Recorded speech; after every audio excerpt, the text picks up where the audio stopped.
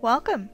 Today I'll be giving you a glimpse of the process behind my piece, Lady of May, a 10 by 20 inch painting created in ink and watercolor. This image is part of a series I'm working on called The Ladies of the Months. I started this series back in 2014 as a way to explore the birthstones and birth flowers for each month of the year. This series has also presented an opportunity to combine both my love of painting and for creating masks. For each painting of a lady, I've also been creating a matching mask made from carved and tooled leather. Research for Lady of May began with looking into the meaning and namesake of the month of May. May is purportedly named for the Greek goddess Maya, meaning the midwife, with the month also the time the Romans venerated Bona Dea, the good goddess. I focused my research on cultures of the Northern Hemisphere as they tend to celebrate similar seasons, for this series, I focus much on the themes of the shifting beauty of nature, which reflects itself in countless ways in the way that people celebrate holidays around the year. May Day, Beltane, and the May Queen traditions, among others, all inform the thematic image for Lady of May that was growing in my mind. The month of May conveys the start of summer, blooming flowers, the celebration of youth, and the height of our abundant life before the harvest and the cold of winter begin to creep in. In the end, I envisioned the Lady of May as a dancing, joyful young woman crowned with flowers, the May Queen who celebrates the height of summer. When designing the look of Lady of May, I knew I wanted to go with the theme of a dancer, which is evocative of the May Queen's role in celebrating youth and summer. I pulled from many sources, including Indian dancers and Japanese geisha, cultures who venerate the power of dance and the dancer as an instrument of the spirit which fits Lady of May as an embodiment of the spirit of May. I also wanted to include fresh flowers which are so commonly associated with the May Queen's crown. I drew upon the vibrant flower crowns of Slavic festival wear and Indian brides for Lady of May's hair and wardrobe. With each lady, I tried to tie their birth flower into their wardrobe. Notice the lily of the valley imprint on her belts and the hawthorn in her ponytail and sash. The design on the trim of the dress on the right is indicative of the red berries that both the lily of the valley and hawthorn have. Fun flower fact the lily of the valley berries are quite poisonous, while the hawthorn's flowers can actually be used to treat a number of ailments. With the figure and basic composition sorted out, I know how much space the lady will occupy in the painting and how much of the window will be viewable, which will help me when designing the decorative window behind her.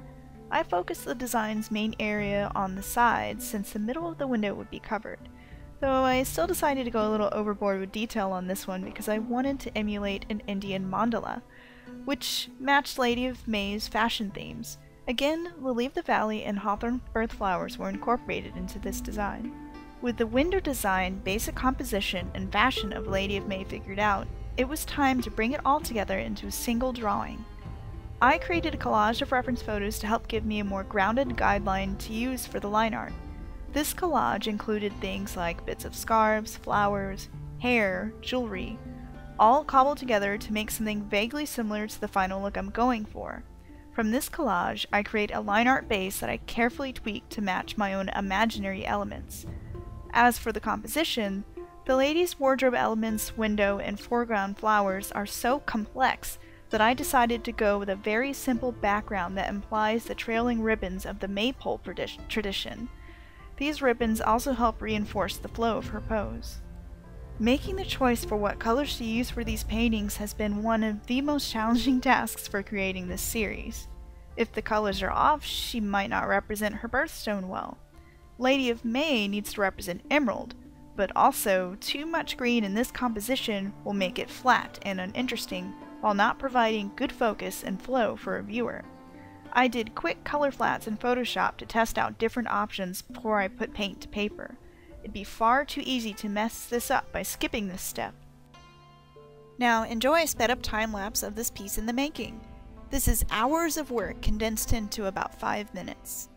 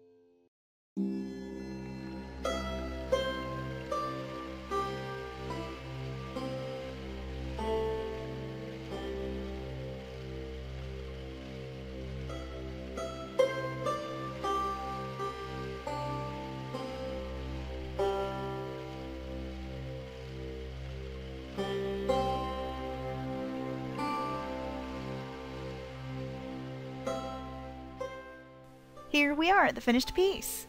You can view the full painting and her accompanying mask online at nouveauladies.angelicshades.com. Prints, original paintings, and limited edition masks are also available in my online shop at the site.